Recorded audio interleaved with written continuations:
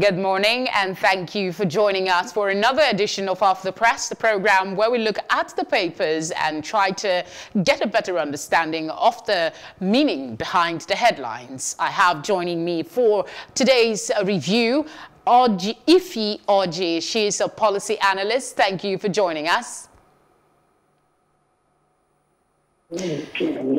And we also have uh, Dr. Femi Adegoke uh, joining us virtually as well. Thank you for joining us. Good morning. Good morning. We start with the Punch newspaper this morning. Uh, the big one here is PSN disagrees with NAFDAC, PTF on search for local COVID-19 cure. FG ignores antiviral drugs by NIPRD. Others say pharmacists. Nobody is seeking approval for COVID-19 drug. That's NAFDAC speaking. Actually read a bit of that story early this morning, and it's um, it's quite disorienting, to be honest. Let's see at the top, and then we'll get to our guests to help us understand it a little better in a bit. Dubai returnees protest oppose general testing by Lagos. Uh, we also have APC Tinubu Govs hail Gambari as Buhari unveils new chief of staff. FG adjusts budget to 10.52 trillion naira, adopts 25 dollar oil benchmark. That's some of the headlines on your screen right now. Underneath it, uh, you will see a picture of the situation in Lagos. The traffic uh, doesn't seem to have changed much. People are still out and about. Um, panel Falana fault Supreme Court judgment on Orji Kalu. Uh, gunman kidnapped army officer, three others in Ondo. We also have money collected from aspirants, not bribes, Ondo APC group.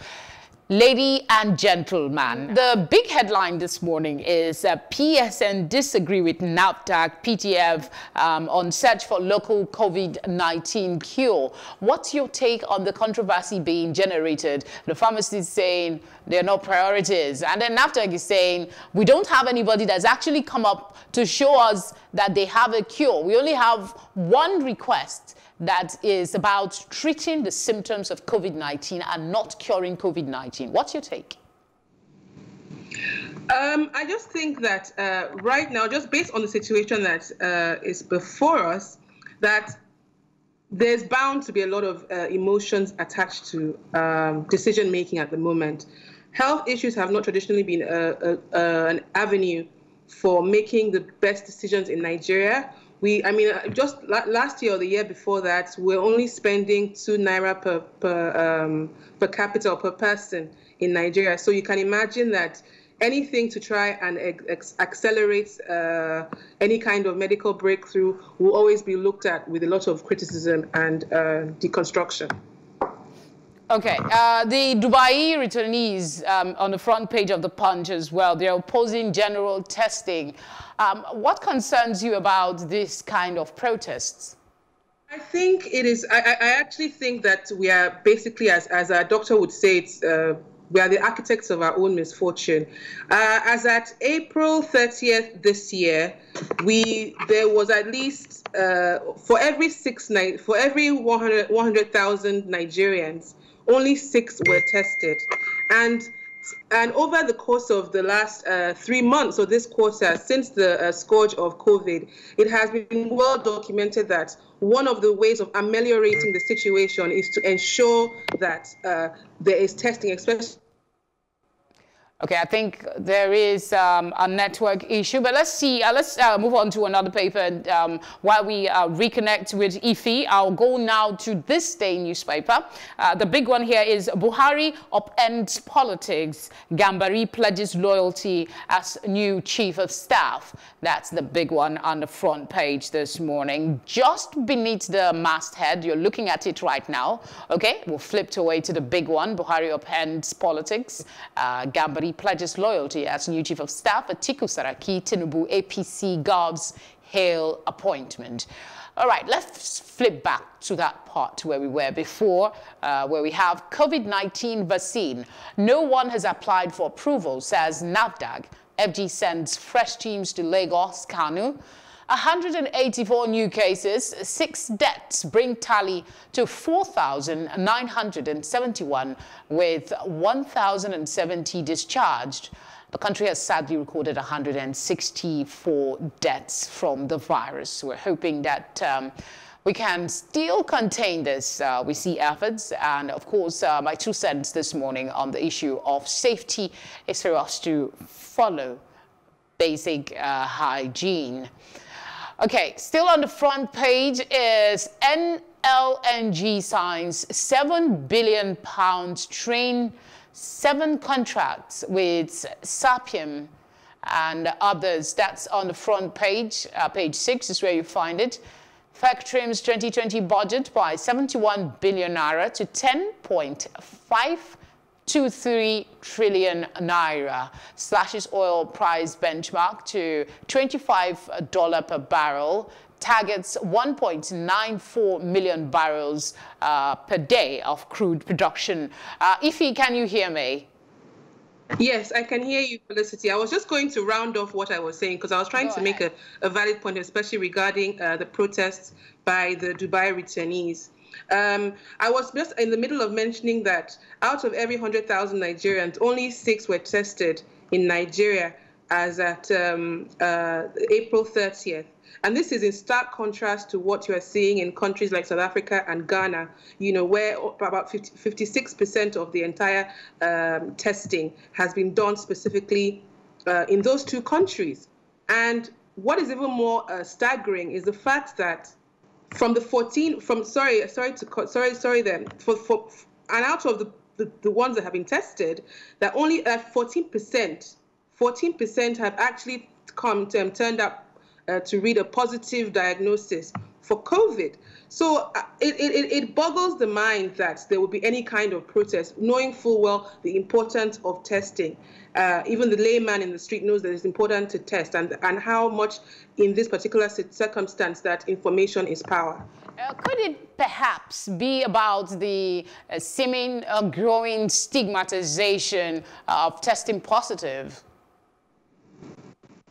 Well, I mean, it's just going to be what it is. I don't think I, I, don't think it's more it's, it's less about the end user or rather the typ- typical uh, patient or or, or um, from from that point of view. It's more from the testing point of view. We have found that there have been in many cases shortages for the reagents for testing. There have been reports of um, lack of um, lack of um, of uh, testing kits, and that where they have found to be testing kits, we are fully at the mercy of countries that have those kind of uh, the, the, those um, the, the, kits at their disposal. So we ha we have to ask ourselves, why is Ghana getting higher uh, testing uh, ratio to Nigeria? Why is it that South Africa is is, is, is at a better position in terms of pinpointing how to um, how to basically how to how to uh, limit uh, the scourge of COVID to where we are in Nigeria. Okay. Um, let's um, take a look at this day. Actually highlighted some of the headlines uh, why we're having issues with the connection. One of the issues, um, I mentioned it on the Punch newspaper as well, is the trimming of the budget uh, from to 10 1.523 trillion naira, and the benchmark is now uh, $25 uh, oil price uh, per barrel. The business day this morning has COVID-19 expectedly on the front page with a big one. COVID-19 worsens manufacturers' fate as fear of factory shutdowns grow. It has rider concerns rise over bank takeover. There's a news analysis on the sidebar. You see all eyes on Gambari, gatekeeping versus service to fatherland. That's another one for you on the front page. And inside the paper, you will see uh, something on Nigeria sets ambitious 1.9 million barrels oil production um, on revised MTEF. Okay, uh, Lagos leverage five years biosecurity roadmap on COVID-19 fight. Those are some of the headlines. And of course, the business figures um, at the top of uh, the market uh, monitoring um, on the top of the paper. Uh, Ify, um, I understand I have you uh, reconnected.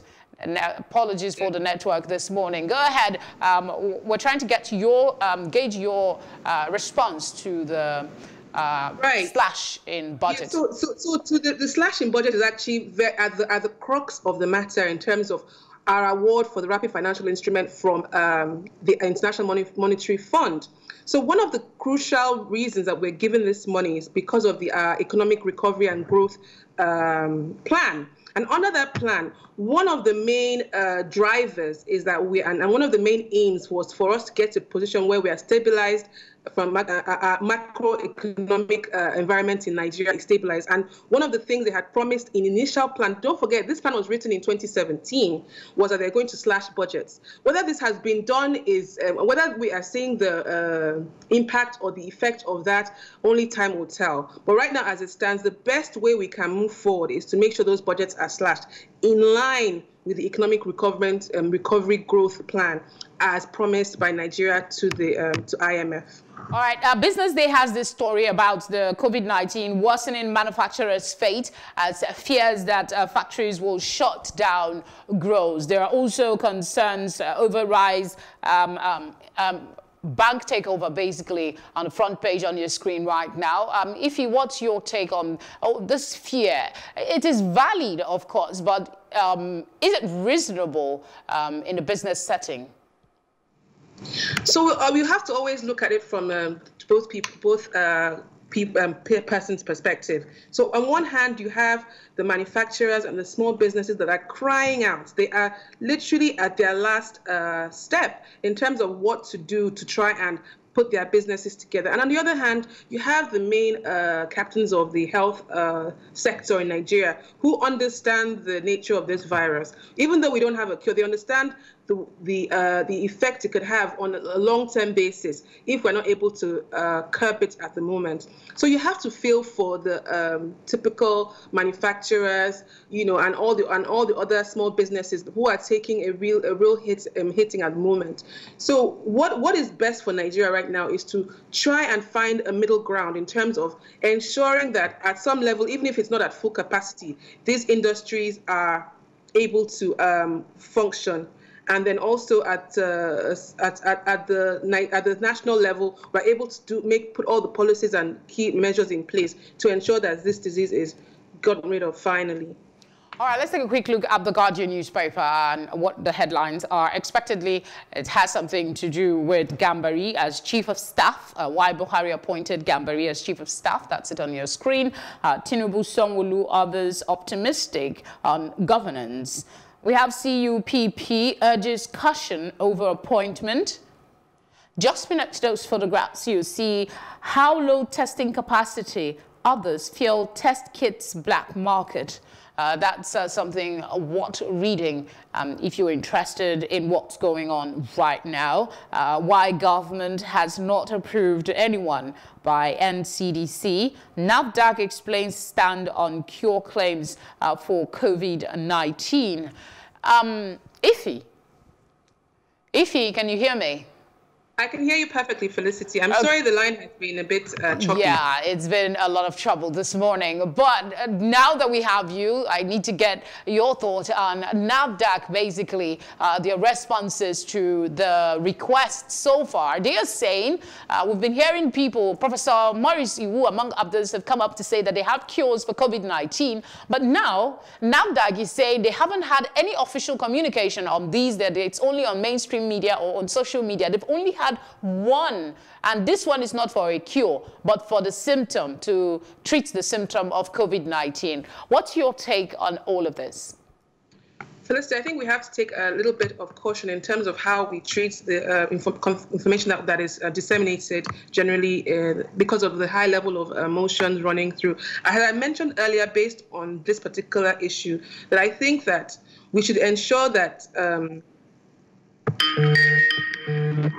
we should ensure that we are at uh, we are all in agreement in terms of how we're going to move forward. And I think that most people are, it's more or less a hope more than actually finding uh, lasting solutions at the moment. And I don't see why um, NAFDAC will make up this story at all. I think if there are genuine, uh, uh, if there are genuine um, cures or genuine uh, um, breakthroughs in science or medicine, that these would have definitely have come forward and sought uh, NAFDAC approval. And, and uh, even though there has been, on the other hand, there's been criticism from um, of NAFDAC of their of the red tape that it takes to actually scale through their standards. So we have to just wait this, and only time will tell what will uh, come out of or emanate from this. Ify, thank you very much for your time and your patience with the network as we are. Thank you so much. Yes, th thanks a lot, Felicita. Much appreciated. Same here. And that's it for the newspaper review this morning. It returns same time tomorrow bright and early. I hope you can join us then, and I do hope that the network will be uh, better uh, with us uh, when it comes to uh, guest analysis. Thanks again. My name is Felicity Ezewuike. Remember to stay safe